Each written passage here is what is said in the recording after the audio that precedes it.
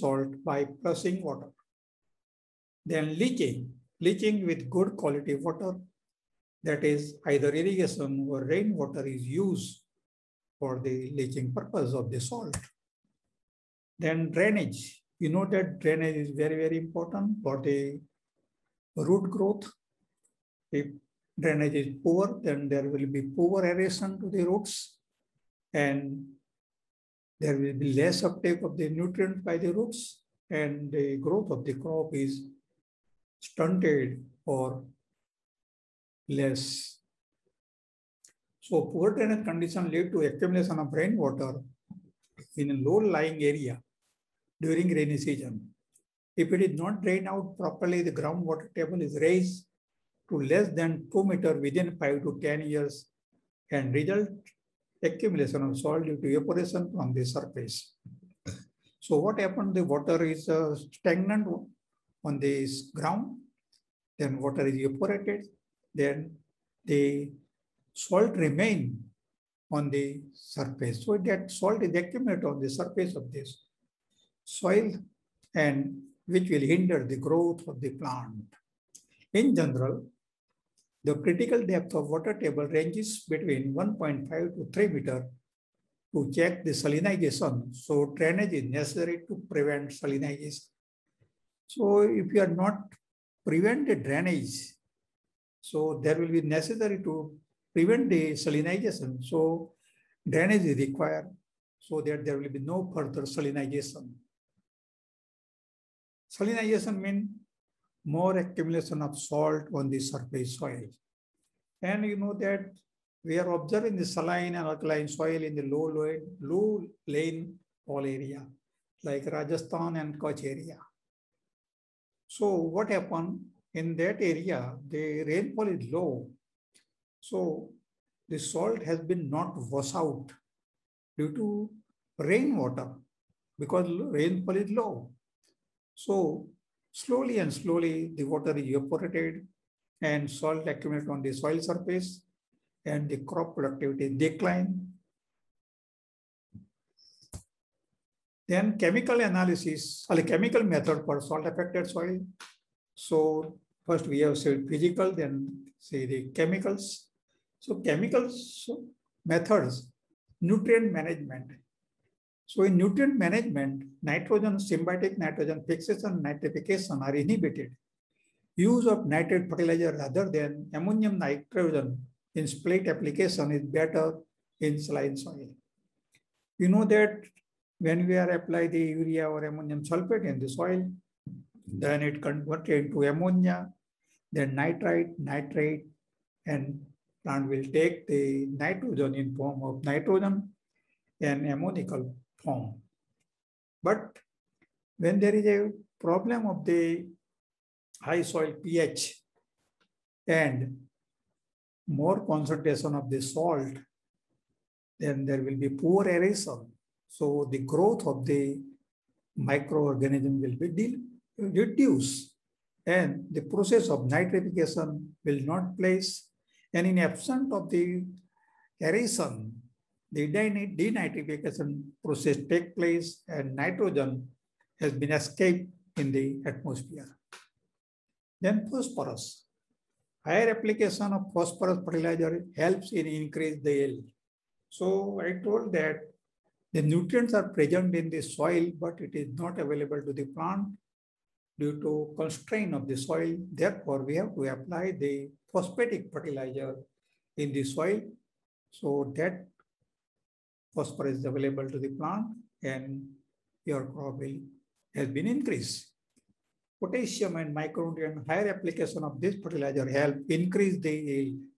So generally you will find that in problematic soil, saline, alkaline soil, you will find the deficiency of the zinc and iron. They are present in soil, but it is not available. Therefore, when we are apply the zinc sulfate or ferrous sulfate, at the rate of 25 or 50 kg zinc sulfate or ferrous sulfate per hectare respectively, then we can increase the crop productivity. Then third one, biological method for salt affected soil. So organic matter application, it helps to increase water holding capacity of the soil. and decrease the conductivity of the soil saturation. Then fallowing, keep the land fallow during the monsoon season so that salt accumulated during the winter season are leached out, making the soil fit to grow next crop. So you know, you know that in a Bhal area in saline alkali soil, they in the, during the monsoon season, they stagnate the water and that salt has been leaked down and they are grow the wheat and uh, late cotton crop in that area. Then mulching. You know that uh, when we cover the soil with the help of the plastic mulch or grasses or crop stubbles, then it control evaporation and salinity buildup. Then agronomy practices for salt affected soil. So saline soil. So choice of crops and cropping system. So here you can see that relative tolerance of crop to salinity. So date palm, barley, sugar beets, cane, rapeseed, and cotton are these tolerant crop to saline soil. Then semi-tolerant pomegranate, wheat, oat, rice, sorghum, maize, and sunflower.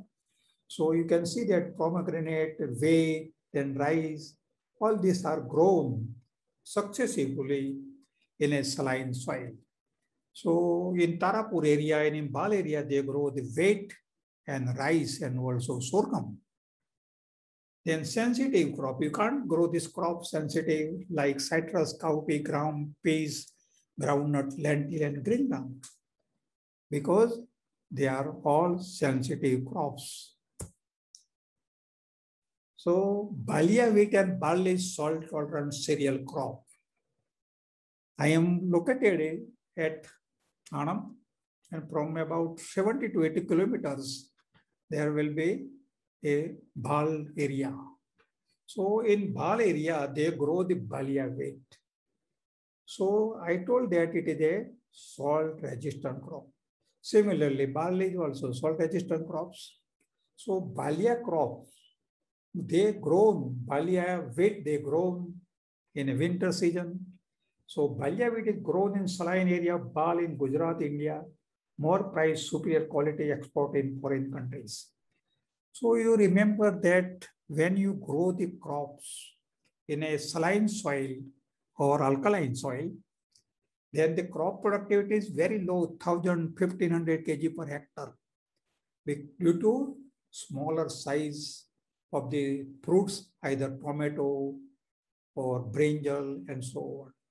Similarly, the wheat is also low production, but the quality of the wheat, then tomato, then guava are superior because there will be more concentration of salt. I will give one example. Suppose you have normal soil, then you are getting 5,000 kg per hectare wheat crop. But when you have the problematic soils like saline alkali, then you grow the balia wheat or other wheat, then you are getting only 1000 to 1500 kg per hectare. Means here, the, in more yield than the constituent, chemical constituents or nutrient are diluted. So the taste of the that wheat is not good as Balia wheat. Here, the concentration of the nutrients is more in Balia wheat as compared to wheat grown in normal soil. So here you know that the price of the Balia wheat is very great. And the India is exporting the Balia wheat to the foreign country. So Suppose the normal weight is about 20, 25 rupees per kg. Here, the Balia wheat is about 50, 75 rupees per kg. So when the production is low, but we are getting the more price due to higher price of the wheat crop. So I told that barley is also the salt tolerant crop. And you know that in India, Karnal, Previously, the soil of the Karnal is a better soil. But what happened? They are used the excessive water of irrigation. Um, Ganga rivers and Brahmaputra river, they are using plenty of water to the rise and weight and they have deteriorated the soil and now the soil becomes saline and alkali soil. So they are growing the barley crop and wheat crop and also rice crop. You know that the rice crop can be grown in saline soil because the rice crop require the standing water. And when you fill up this soil standing water, then whatever the salt present in the soil that has been diluted and rice crop has been grown successively in that area, particularly in saline or alkaline soil.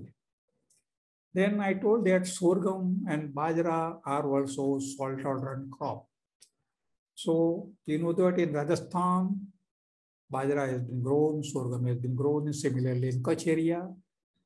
So you remember that uh, sorghum is a versatile crop you can grow in any type of soil. It is a drought resistant and it requires lesser irrigation water as compared to other crops.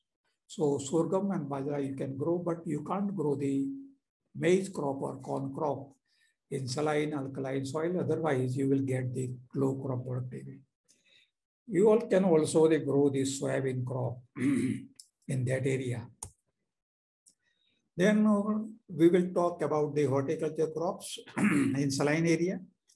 So mandarin, then pomegranate, and sweet orange has also been grown in saline soils. And you know, then in Kutch area, the farmers are growing the pomegranate and they are fetching very, very more income from that area because the soil is saline, then water is also saline.